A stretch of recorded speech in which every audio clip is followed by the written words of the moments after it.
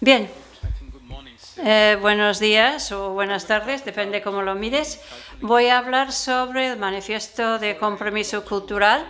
Antes de empezar, voy a hablar de dos perspectivas Voy a presentarme a mí mismo. Yo me llamo Abhai, soy fundador de un programa que se llama Digital Identities. El objetivo de ese programa es ayudar a ciudades, instituciones culturales, crear nuevas formas de participación cívica. Fundado en 2012, ha crecido de ser una serie de talleres a un programa de impacto social que funciona en 12 países en Europa y Asia.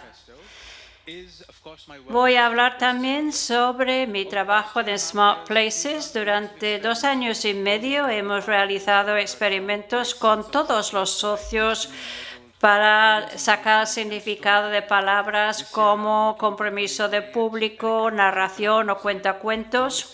Este año estoy trabajando con Mariette Erika para entender cómo las instituciones quieren evolucionar en respuesta al cambio de la sociedad y qué aspecto tiene esta evolución en términos prácticos. Pero en primer lugar, ¿cómo empezó el manifiesto? Como cualquier proyecto, empezó con una conversación muy interesante entre mi colega Jasmin Vogel de Dortmund U y Dominika Skop de ZKM. Ninguno de los dos están aquí hoy, por lo tanto no podrán hablar con ellos. La idea inicial se desarrolló en una conferencia en Karlsruhe el año pasado, donde celebramos unos talleres y este año hemos lanzado nuestra primera eh, consulta pública. ¿Qué es este manifiesto de compromiso cultural de Smart Places? Es nuestro intento de poner en marcha una conversación significativa sobre las prácticas digitales. ¿Y qué es una conversación significativa? Pues para contestarlo voy a hablar un poco sobre lo digital. La primera conversación esta mañana es sobre el futuro. Hay muchos escenarios de cómo nuestras instituciones evolucionarán en el futuro, abierto, accesible, con una interfaz pública, si es online, a través de una aplicación, una exposición física, es perfecto, interactivo. Y también hay una segunda conversación todo lo que es digital es complejo, no se puede producir, cuesta mucho tiempo y también dinero. Así que, como podéis ver, entre la esperanza y el temor, la conversación sobre prácticas digitales en el sector cultural falta claridad. Si buscamos consejos, a veces no sabemos dónde empezar o cuál sería un buen resultado.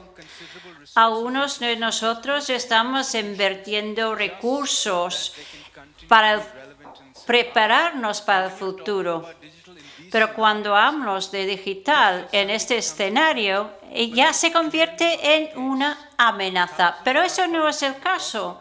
Miles de colegas a través de un mundo de, de, instituciones viejas o grupos contemporáneos eh, han encontrado soluciones pragmáticas.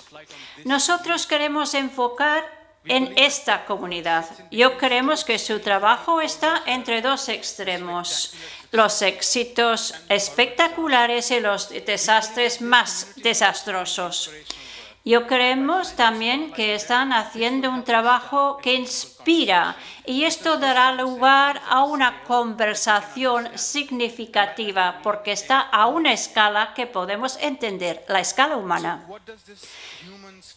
¿Qué aspecto tiene esta escala humana en el sector cultural?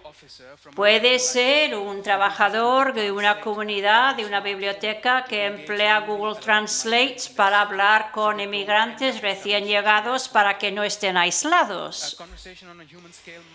También puede ser un director de digital de una galería nacional que se ha asegurado que parte de un presupuesto se ha asignado a investigación de usabilidad. para que cualquier tecnología esté accesible al visitante.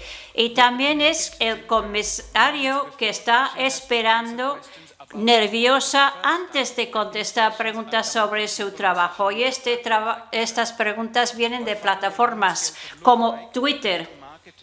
O puede ser un jefe de marketing que le han pedido preparar una aplicación de realidad aumentada y está haciendo mucha investigación para asegurarse que no se esté eh, mal invirtiendo ese dinero. Por lo tanto, lo que queremos hacer es tener una conversación con personas como vosotros. El primer paso ha sido el cuestionario que hemos lanzado. He dado unos pocos ejemplos de las experiencias que queremos captar a través del cuestionario. Nuestro objetivo es reunir buenas prácticas de todo el mundo que se puede replicar en diferentes instituciones. Queremos crear un manifiesto para entendernos entender lo digital. Puede ser punto de partida para tu proyecto o puede hacer un cambio en la conversación que tienes ahora en día en tu institución. Se desarrolló el cuestionario con la ayuda de una junta global que va desde Portland a Chennai, en India. Es un equipo de ocho profesionales que han reflexionado sobre sus propias experiencias.